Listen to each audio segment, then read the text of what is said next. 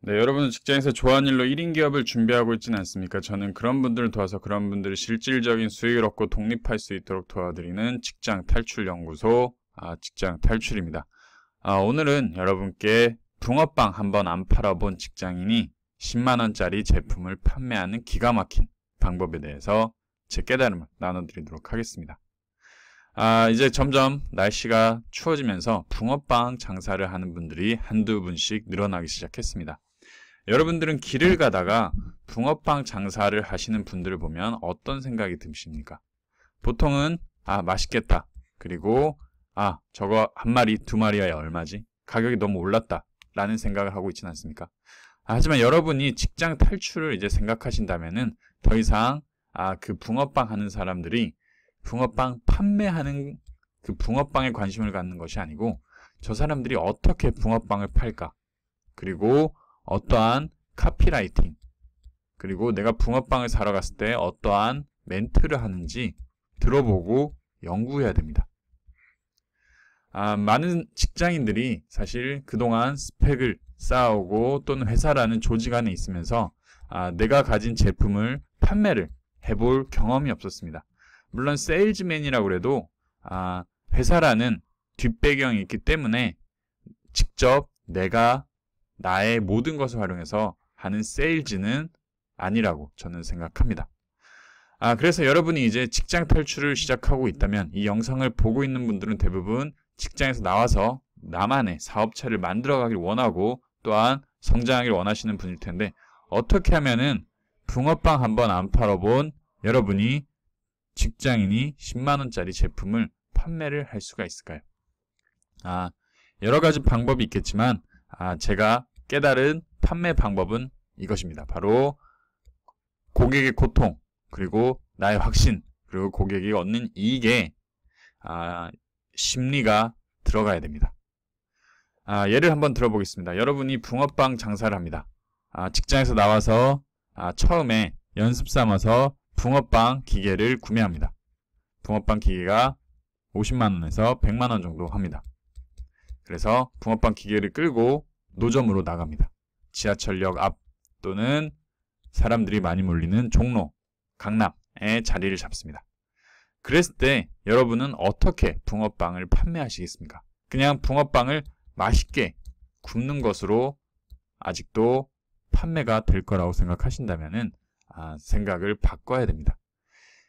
아, 여러분이 판매하는 붕어빵 노점에 카피 하나 여러분이 서서 말하는 멘트 하나에 여러분의 장사 매출 그리고 여러분에게 다가오는 손님이 완전히 달라지게 됩니다. 아, 우선 여러분이 이러한 멘트를 짤 때 또는 카피를 짤 때 반드시 기억해야 되는 게 이 네 가지 원리입니다. 고통을 강조하십시오. 그리고 이 붕어빵이 맛있다는 확신을 주십시오.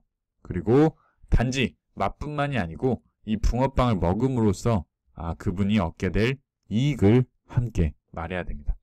마지막으로 그 사람이 갖고 있는 심리를 충분히 활용해야 됩니다. 예를 한번 들어보겠습니다. 보통 붕어빵에 아, 카트에 가면 이렇게 써 있습니다. 3마리 1,000원 아, 그런데 바로 옆 카트에 가면은 이렇게 써 있습니다. 4마리 1,000원 아, 당연히 아, 이렇게 네 마리 천 원인 곳에 사람들이 몰리게 됩니다. 아, 여러분 이렇게 가격 경쟁을 통해서 여러분의 사업을 제로섬 게임을 하지 않기 위해서는 아, 이러한 멘트를 확신을 해가지고 적어야 됩니다. 예를 들면 아, 저는 이렇게 적겠습니다. 아, 여러분은 지금 따끈한 붕어빵 한 입 깨물고 싶지 않습니까? 아, 또는 그 뒤에 멘트는 네, 이렇게 하는 것입니다. 아, 지금 여러분의 사무실에 따끈한 붕어빵을 먹고 싶어하는 과장님이 계시지 않습니까? 아, 여러분 천원으로 과장님의 사랑을 받는 방법을 알고 싶진 않습니까? 이렇게 아, 천 원이라는 구체적인 숫자 그리고 지금 사랑받지 못하고 있다는 어떤 이 지나가는 사람의 고통 그리고 이 붕어빵이 단지 맛을 위한 것이 아니고 이 사무실에서 일하는 과장님 또는 직장 상사의 사랑을 받는다는 어떤 이익을 구체적으로 적어주는 것입니다. 아, 이러한 방법을 통해서 아, 그냥 단순히 세 마리 천 원이 아니고 아, 다양한 그 고객이 가지고 있을 심리적인 문제 그리고 겪고 있는 고통 날씨가 추운 것 또는 직장 상사하고 지금 보고서를 보고해야 되는데 아, 어떠한 아, 이전에 문제가 생겨서 굉장히 아, 갈등이 있습니다. 그럴 때 붕어빵 하나로 풀어보시진 않겠습니까? 네. 이러한 멘트 한두 개로 여러분은 분명히 판매를 늘릴 수 있을 거라 확신합니다. 아, 오늘은 아, 제가 읽고 굉장히 많이 도움이 됐던 책 한 권을 소개해 드리려고 합니다. 아, 바로 이 판매의 심리학이라는 브라이언 트레이시 판매의 아, 대가죠. 아, 이 책을 꼭 한번 여러분이 직장에서 나오기 전에 여러분이 어떠한 직장에서 아, 아, 한 번도 여러분 제품을 판매해 보지 않았다면은 굉장히 많은 도움이 될 겁니다. 아, 그리고 가장 중요한 것은 여러분이 직접 판매를 한번 해봐야 됩니다. 아, 최근에 다양한 오픈 마켓이 많이 있습니다. 온라인에. 그리고 아, 노점도 굉장히 좋은 여러분이 판매를 해볼 수 있는 좋은 기회입니다. 아, 이런 오픈 마켓, 온라인 오픈 마켓은 노점의 특징은 바로 노 리스크라는 것입니다. 아, 여러분이 잃을 게 없습니다.